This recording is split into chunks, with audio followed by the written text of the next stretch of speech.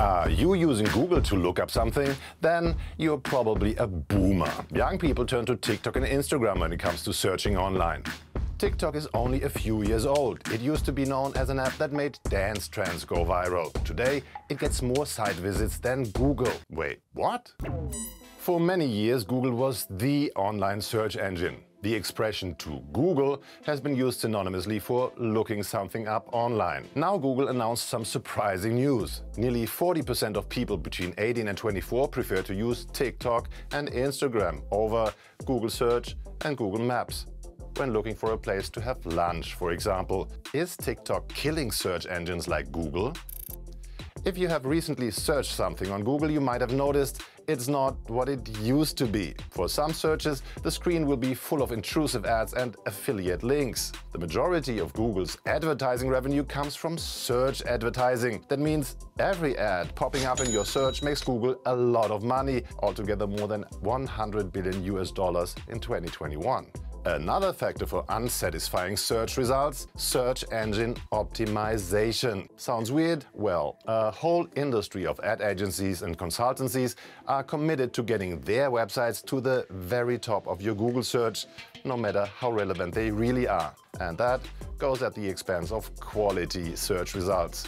It's no surprise that for a lot of users, Google's search results have become too inauthentic to trust. While it might still be very convenient to Google the capital of Uzbekistan, users might rather turn to social media when looking for authentic experiences.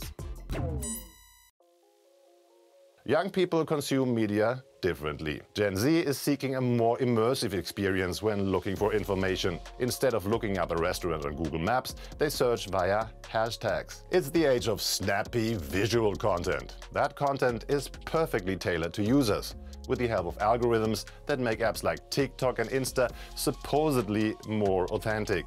Videos by creators are not only easy on the eyes, but there's also the social aspect. Users can engage with them by stitching and sharing or commenting. But a lot of users don't only get recipes and makeup tutorials from TikTok. The platform is also used for current news. And that can be a problem and potentially dangerous. At the start of this year, TikTok was full of videos spreading fake news on the war in Ukraine. The platform still needs more transparent guidelines on how to deal with misinformation. While Gen Z might not have so much spending power now, their financial influence will grow in the next years. And so will the influence of their favorite app TikTok, the fastest growing social media platform. Platforms like Instagram and YouTube have already released features similar to TikTok, like Reels and Shorts, hoping to capitalize on their users' bite-sized attention spans.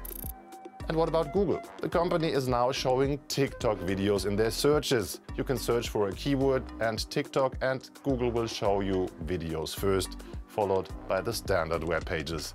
Google is also working on a multi-search feature. With the help of AR, users can use the search engine combining text and image. Could this be the innovation the company needs? One thing is clear, Google better act fast if they want to keep up with the times.